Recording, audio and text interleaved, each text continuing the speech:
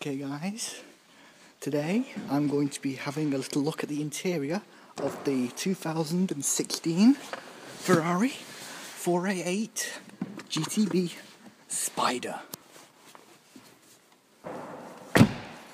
I believe this to be the first one in Manchester.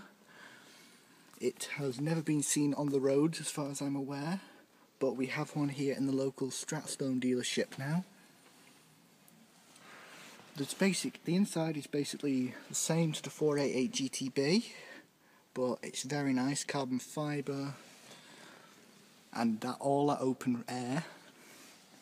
In general, very nice example of a very nice Ferrari.